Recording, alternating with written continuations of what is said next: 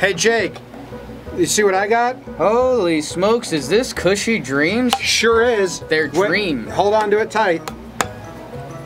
And this is this is also Cushy Dreams. This Yeah. is their piece. If you're nervous, if you're anxious, if you have some thing hurting yourself, Life's too short to not be peaceful, mate. you can always smoke the Cushy Dreams. Because smoking gets CBD into your system the best, and it's completely legal. THC, tiny bit amount, 0.3%. No one gives a shit about that amount. Legal. Legal all 50 CBD states. helps you calm down. Whoa, my God, it's him. Becky, oh my freaking God, it's Eminem. Copyright. Oh! Go get some Cushy Dreams. Uh, promo code JOMBOY, 20% off. Yeah. Your next order. Doesn't have to be first, doesn't have to be your last. Just your next order. Cushy Dreams. Go check them out. This is the pre-roll. Let me This- get some. I mean, this looks like weed. me Or get- we we haven't said this in a while. If you really want to mess with a cop, Yeah, yeah. but you're gonna have like a no, long no. day. No, no, don't do that. Don't do that. That looks like that bud, that Kush. This is legal. Go try some out. Smells. You're gonna love it. You're gonna love it. Promo code JOMBOY. Cushy Dreams.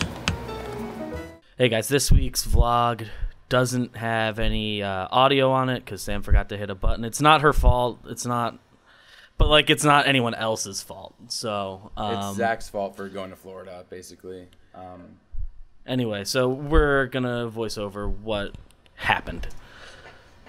So I've hit play. Oh yeah, this is us. Yeah, we were trying to set up the crime scene board, um, like in detective movies, because that's just kind of a cool visual. right now, um, we're going through one of the first pieces of evidence, which was a collection of baseball cards. Oh yeah, the Kratz stuff. I think. Oh no, this is the second package that I'm looking at. Also, there was, is, there was a Blake Parker card in there. I don't remember the other guys, but the first package was definitely the Kratz stuff. There's the Panda Express Panda card. Express card, the Doge coin. There's a little bit of a Panda Express theme from the stalker throughout. there's a the Panda letters. Express and a that '70s show theme. The connection, I have no idea. And BBD's explaining this to me for the first time um, as we're watching this. yeah. Uh, so looking at oh, showing him the letters because those were suspicious. So there were there was one letter in the first week, one letter in the second week, and three letters in the third week. In the third, and I think that third is when they were all like double typed, like no handwriting was shown. And I think right there I'm looking at a top five The top fives, yeah. We're looking at that.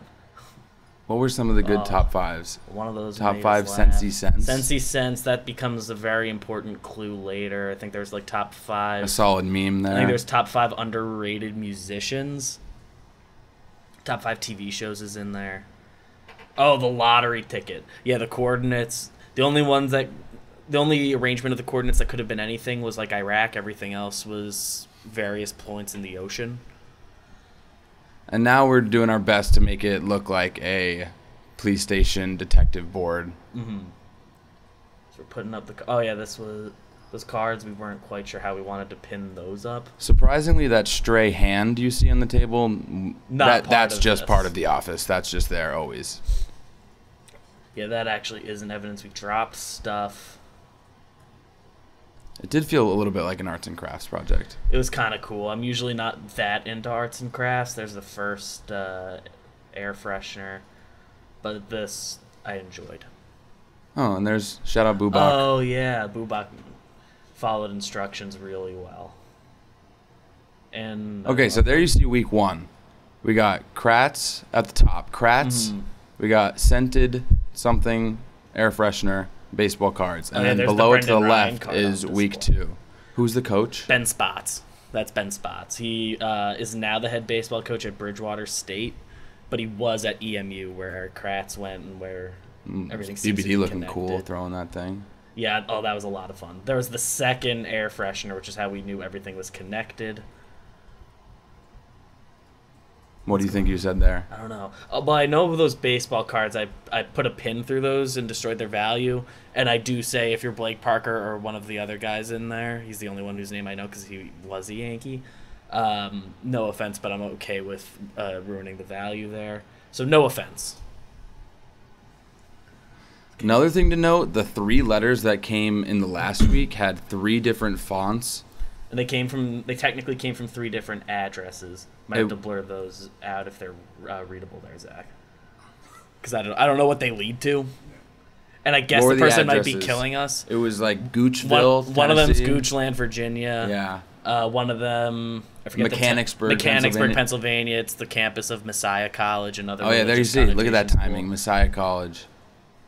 Yeah. BBD put a lot of research into these places. There was also a religion theme going on. Mhm. in Messiah here. College has a great field hockey program, and I think a good men's basketball team. Oh, Sam complimented my handwriting right about now. Just make sure For the record. that's on record.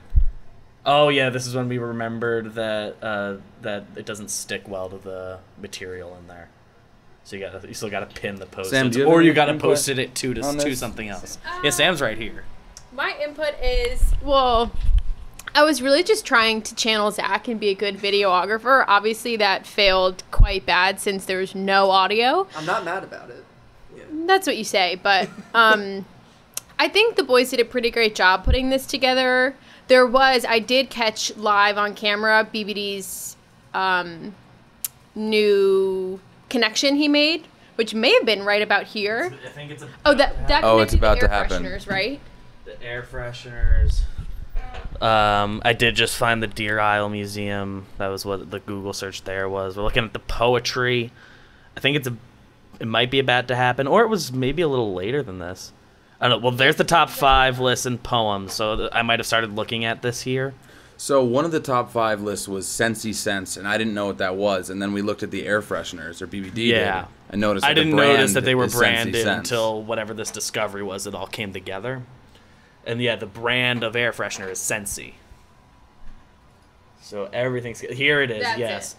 Uh, I forget what the names of each were, but just trust me. Two, the, one had two of them Eskimo overlap. Yeah, Eskimo Kiss was one of them. I think the first one we got was Eskimo Kiss, and that one was something else. I don't That know, but they like were in the top name. five of But they, that were- yeah, guy's they were the second and third on the list. And then he sent. Uh, I don't know if it's gonna be part of the vlog, but if you watch this week's JJR, they sent us another uh, air freshener that isn't on that list, and they said to throw you off the scent. And the the name the name of the air freshener was Mystery Man. Oh yeah, yeah, yeah, yeah, yeah, yeah. It's it did not smell good. Oh, we're throwing up our first suspect right about now, which happens to be Erica. Yeah, she brought in. Oh, because she worked in Maine. Um, she also just seems like she might kill us. and then, and, then- and when we, we told her that she was becoming a suspect, her response was, "Oh yeah, I used to work in Maine," uh, which is where the Deer Isle anything. Museum was.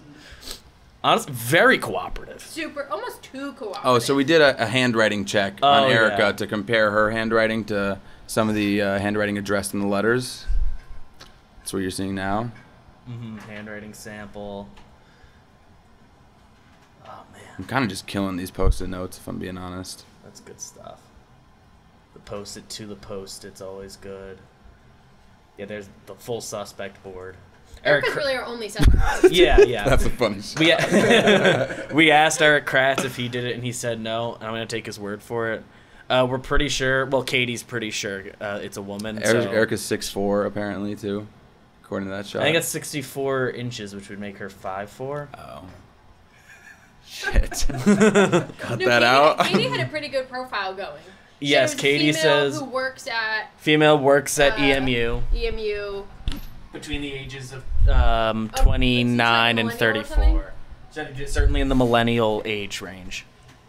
Yeah, because she was going off of the meme. That was a big age indicator, the Spider-Man meme, and the lottery ticket. lottery ticket. And all of them are postmarked Northern Virginia, so I don't know, do with that what you will.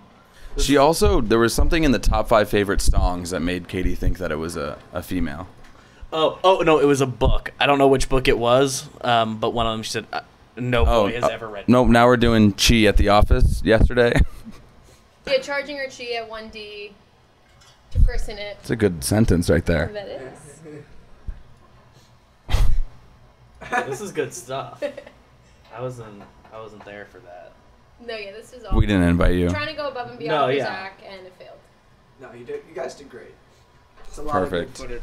Any closing? Thank thoughts? you. Closing thoughts. Um, watch JJR if you're confused by anything that we just said because Yeah, that's a good they go through it. I think a full breakdown of it is coming on the JJTV channel. Um, and this week's episode had a lot more updates. So And get in now because the guys are getting a little scared. So we don't know how much longer this We're- letter thing will last before they just start not opening them because we're we're like not we're fully not opening stuff on JJR anymore. But like if he sends it, we're gonna open it and add it to the board. But like it's taking up too much time on the show. it gets a little too serial Just keep it, keep, please keep So- it to one letter. Thank you. Yeah. Thanks, guys.